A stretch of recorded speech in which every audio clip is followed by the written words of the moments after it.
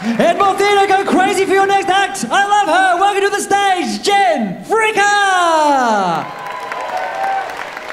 Hi! Oh my god, it's so nice to see you all. I'm so glad we decided to do this. You guys look great.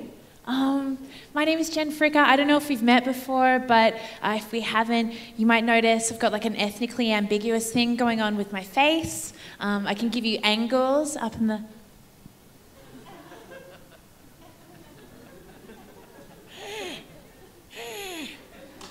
Pretty cool. Men on the internet like to say I look like a female Elon Musk, so.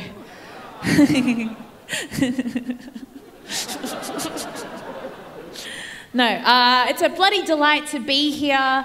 Um, I don't know what you guys were up to last year. Uh, me, a lot of travel um, and just getting out and about. No, um, I was inside uh, just trying to like rethink my brand. You know, I'm tired of being Australia's sweetheart. If I'm being honest, I never asked for it.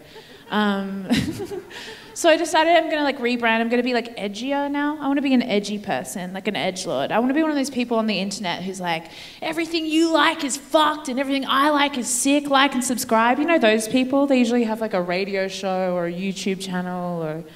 I want to be one of those people. They seem like I can like make money from having shit opinions. So.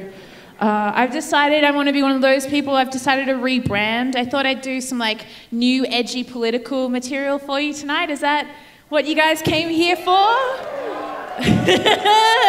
I heard like a thousand buttholes just go like. no, we'll give it a go. I'm just, I just, there's a bit of like character work in it, so I just kind of have to like warm up to it. Give me a sec. Okay. I gotta look.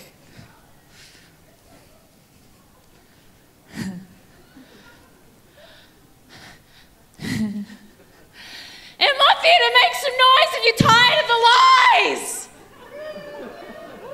A lot of you very cool with the lies. A lot of you like, we love it. We love the Matrix, bitch. Uh, you guys need to get on board, all right? Let's get some edgy. Uh, okay. Enmore Theatre, make some noise if you're tired of the lies.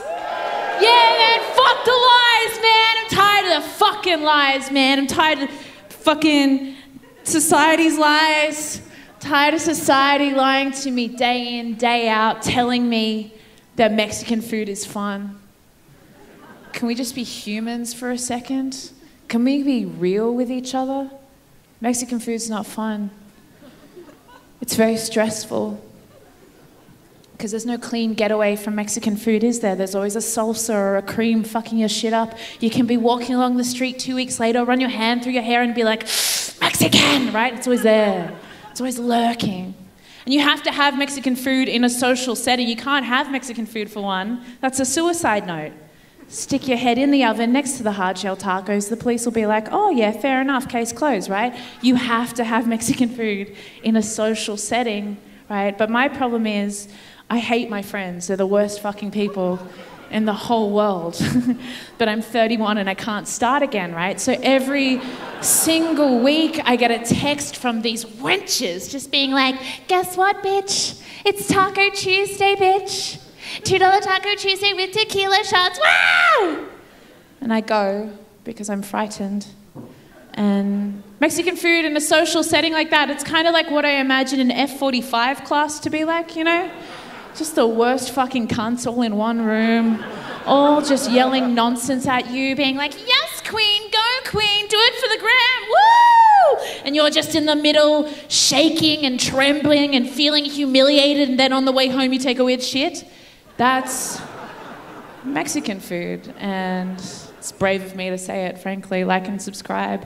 Um, yeah, I don't know, it doesn't work. Look, I.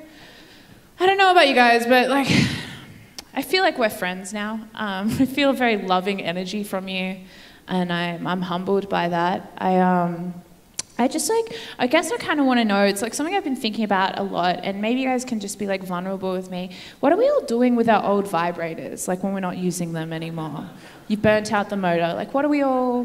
What do you do with them? Like, how do you dispose? I'm not asking for me. I'm not like, I don't want them. Not like the Pied Piper of old dildos. Like, give it a die. I'm just wondering, like, what do we, what do we all do? It's just like, you know, it's this the Enmore Theatre. It's Inner West. We're all very environmentally aware. Like, what do we do? It's a lot of plastic and like batteries. You know what I mean? To just be tossing away. I was in a predicament recently uh, where I had to throw out a vibrator I'd bought in a relationship that I'm no longer in. It was a long distance relationship. It was one of those vibrators where they can download an app and they can control it and you can have sex from far away. Um, and I was like. Uh, and and then when they broke up, right? Like I was like, oh, we need. I, it feels weird to hold on to it. You know what I mean? I want to throw it away, right? But it was an expensive vibrator. Like I don't want to brag, but it was three hundred and fifty dollars, right? That's a lot of money to just throw away. Like in Sydney, that's a bag, right? Like to just throw it away, economically does not make sense, right? So I held on to it, and then I got into another relationship, another long distance relationship because uh, I don't fucking learn my lesson.